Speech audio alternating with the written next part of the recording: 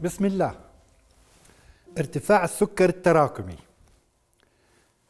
جزء من الذي يصاب بمرض السكري قد يرى السكر التراكمي مرتفعا وقد يراه إثناء الصوم إثناء الإفطار أيضا. السكر التراكمي قد يكون سبعة أو تسعة أو 11 قد يكون مؤشر ارتفاع السكر التراكمي التهاب في البنكرياس. وأيضا هو مؤشر عن ارتفاع السكر في الدم فوق ال 250 و 300 لفترة طويلة. رغم انخفاضه مع الأنسولين لكن السكر التراكمي يبقى مرتفعا. كيف نساعد على انخفاض السكر التراكمي؟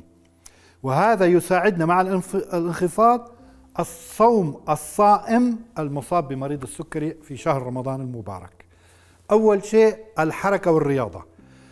لا يوجد أي شيء يسمى وصفات أو أعشاب تؤخذ وتخفض السكر التراكمي بشكل منتظم.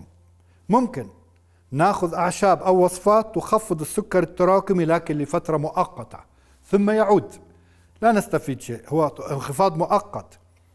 ولكن الانخفاض الحقيقي الرياضة. لا يوجد أبدا لحرق السكريات المخزنة والانتقال لانخفاض السكر التراكمي. ونتجاوز حتى الشعور بمرض السكري الذي يشعر به مريض السكري الرياضة. جرب الرياضة لكن ليس المشي فقط بل الرياضة الحقيقية المقاومة الأجهزة. العب كل يوم لو 45 دقيقة لو نصف ساعة على الأجهزة وحط أوزان والعب. وبعد ما تخلص روح سباحة أو روح امشي. أو امشي بعدين في أي وقت. لكن رياضة المقاومة لا مثيل لها في خفض السكر التراكمي والسكر الموجود في الدم العادي. إذا رقم واحد الرياضة. لا تصدق أي شيء يخفضه. طيب غذائيا إيقاف الخبز. الخبز الأبيض خاصة أو حتى الخبز البني أو غيره نخفف منه للحد الأدنى. لكن أول 40 يوم نوقف الخبز. الخبز يسهم في رفع السكر التراكمي. ونخفض من أكل الرز والمكرونة أيضا.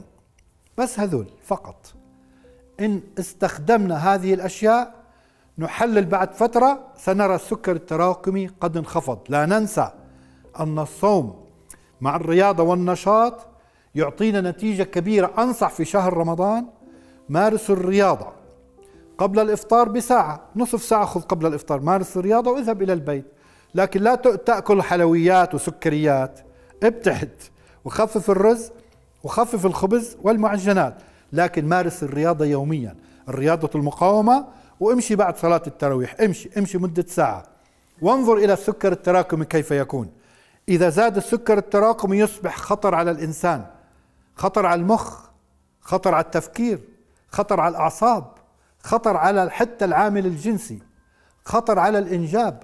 خطر على الحركة خطر على التفكير خطر السكر التراكمي نصيحتي أرجوكم تسمعوا الرياضة فقط وتخصيص بعض الأطعمة التي ذكرتها. لوجه الله أنصحكم. شكرا لكم والسلام عليكم.